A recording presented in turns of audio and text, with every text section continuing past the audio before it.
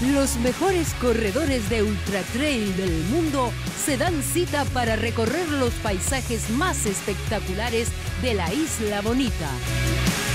Este sábado vive la Transvulcania en Televisión Canaria.